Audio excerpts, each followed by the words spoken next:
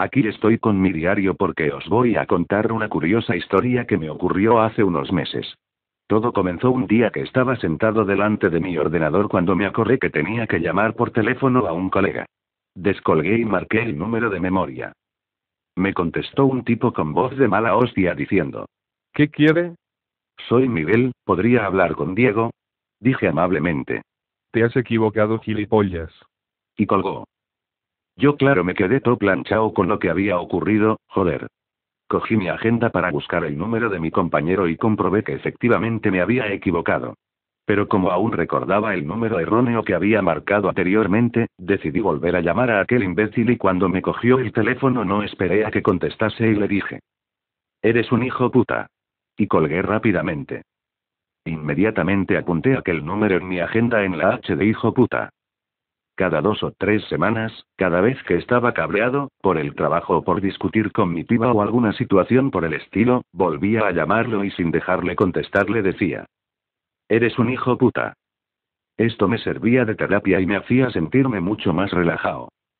Unos meses después la puta timofónica de los cojonzuelos introdujo el servicio de identificación de llamadas lo cual me deprimió un poco porque tuve que dejar de llamar a ese hijo de la grandísima guarra. Pero de repente un día se me ocurrió una idea. Marqué su número y cuando escuché su voz le dije. Hola, le llamo del departamento de ventas de Telefónica para ver si conoce nuestro servicio de identificación de llamadas. No imbécil. Me dijo el muy mamón y me colgó. Rápidamente lo volví a llamar y le dije. Eres un hijo puta. Un mes después estaba yo esperando con mi coche a que una anciana saliera de la plaza de aparcamiento del Hipercor.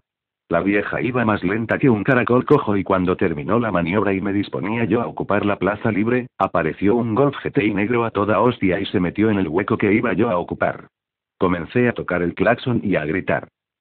Eh oiga, que estaba yo esperando, joder hostia puta me cago en to. El tipo del Golf se bajó, cerró el coche y se fue hacia el centro comercial ignorándome como si no me hubiera oído. Por segunda vez en esta historia me quedé todo planchado y pensando, este tío es un hijo puta, el mundo está lleno de ellos. Justo en ese momento vi un letrero de se vende en el cristal de atrás del golf. Lógicamente anoté el número y me fui a buscar otra plaza de aparcamiento.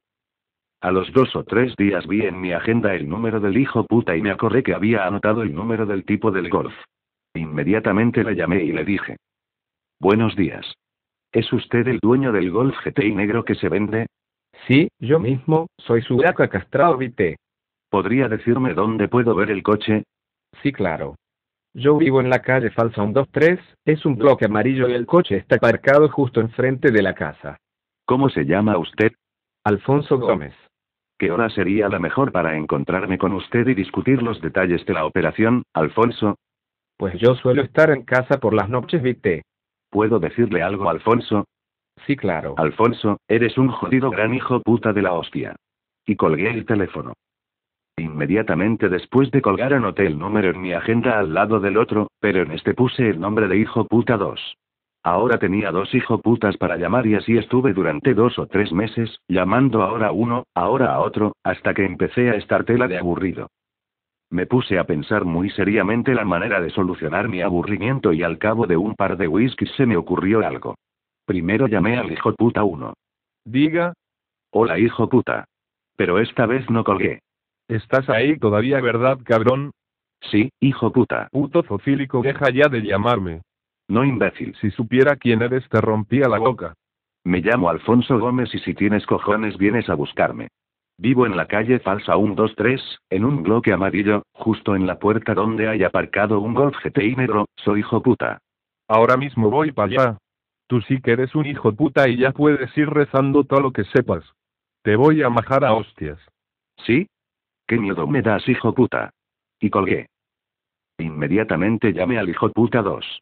Dígame. Hola, hijo puta. Y no colgué. Como te pille algún día. ¿Qué me vas a hacer, hijo puta? Te voy a sacar las tripas y te las pondré de corbata, cacho cabrón. ¿Sí? Pues a ver si es verdad, hijo puta. Ahora mismo voy hacia tu casa. Y colgué. Por último, cogí el teléfono y llamé a la policía. Les dije que estaba en la calle Falsa 123 y que iba a matar a mi novio homosexual en cuanto llegara a casa. Luego hice otra llamada rápida a la sexta y les dije que iba a haber una pelea de pandillas en la calle falsa 123. Elegí la sexta por ser la más friki y también a ver si había suerte y venía Andrés Montes a narrar el conflicto, muajijasjuas. Y entonces me monté en mi coche y me fui para allá a toda piña. Os juro que es una experiencia que nunca olvidaré. La mayor pelea que he visto en mi puta vida. Hasta los cámaras de la sexta se llevaron lo suyo. Qué bueno que soy. En fin, después de esto espero que cuando te llame por teléfono me contestes en tono amable. Ya sabes, no es bueno que yo me irrite.